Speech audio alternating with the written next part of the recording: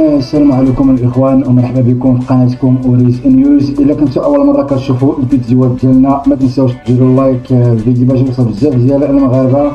وما تنساوش ديروا الاشتراك في القناة باش يوصلكم دائما الجديد ديالنا. إذا المنتخب السنغالي كيفوز على المنتخب الجزائري فالجزائر بثلاثة صفر في كأس العالم للناشئين الأقل من 17 سنة. إذا المنتخب الجزائري كيحتل الرتبة الثانية بثلاثة نقاط آه، الرتبة الأولى للمنتخب السنغالي عنده ستة نقاط الكونغو نقطة واحدة الصومال نقطة واحدة. المغرب كيحتل المرتبة الأولى بثلاث نقاط متبوع بنيجيريا ثلاث نقاط فهاد المجموعات الثلاثة اللي كاينين مالي هي الأولى بثلاث نقاط غادي يتأهلوا جوج الأولين وجوج أحسن ثالث. الجزائر عندها ثلاث نقاط إلا تعادلت غير تعادل كيكفيها باش أنها تأهل الدور المقبل.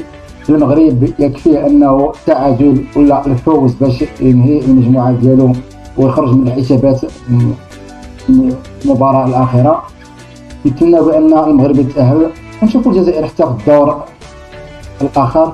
ونتلاقاو مع المنتخب الجزائري لما لا ونلعبوا معاهم في عقر دارهم في أقل من 18 أقل من 17 سنة رغم أنهم كانوا كيشجعوا جنوب افريقيا في المقابلة ديال المغرب.